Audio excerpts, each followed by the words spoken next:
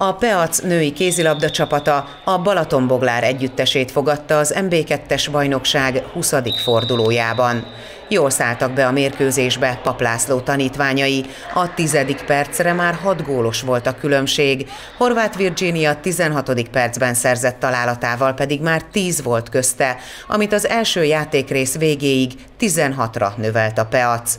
A második félidőben aztán kiengedtek a házigazdák, és végül 43-27-es eredménnyel zárult a Balatonboglár elleni találkozó.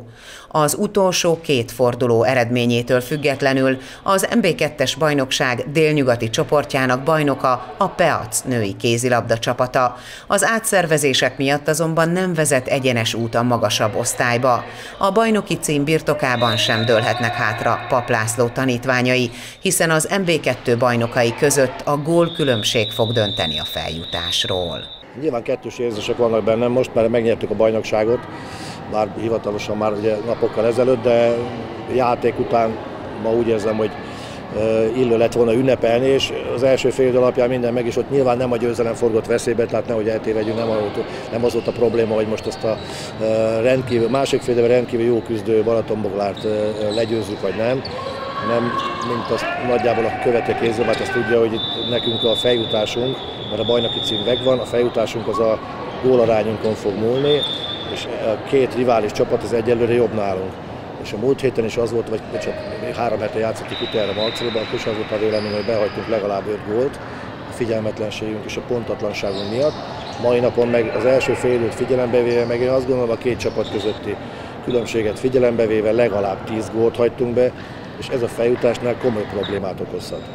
Nyilván, hogyha ez, hogy mondjam, nem keseríteni a szánk ízét, akkor szép éven vagyunk túl, persze van még két mérkőzésünk, tehát mindig van idő ezen is javítani, de nyilván ez egy évek alatt egy jó fölépített munka volt, amit azt gondolom azért ma beérett azzal, hogy bajnokok lettünk, csak én azt gondolom, hogy egy kicsit tovább merjünk már álmodni, és a magasabb osztály is merjünk álmodni, mert, mert hivatott lenne ez a társaság erre, meg a Peac is talán megérdemelni.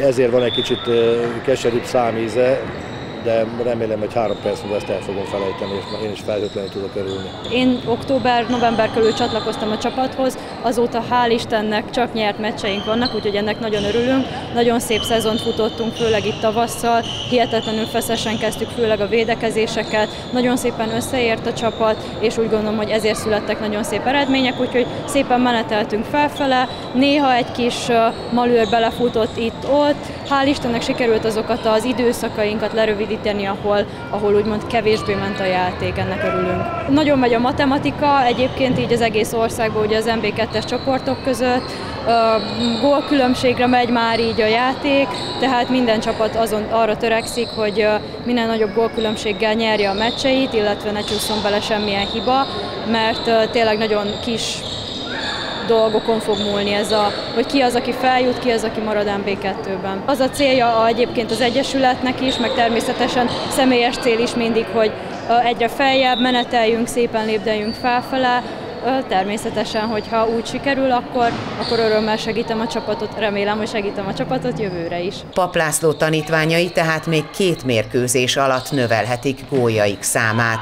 A bajnokcsapat hétvégén Nagykanizsára utazik, majd május 20-án az Albafehérvár KC U22-es gárdája ellen fejezi be a bajnokságot a Peac.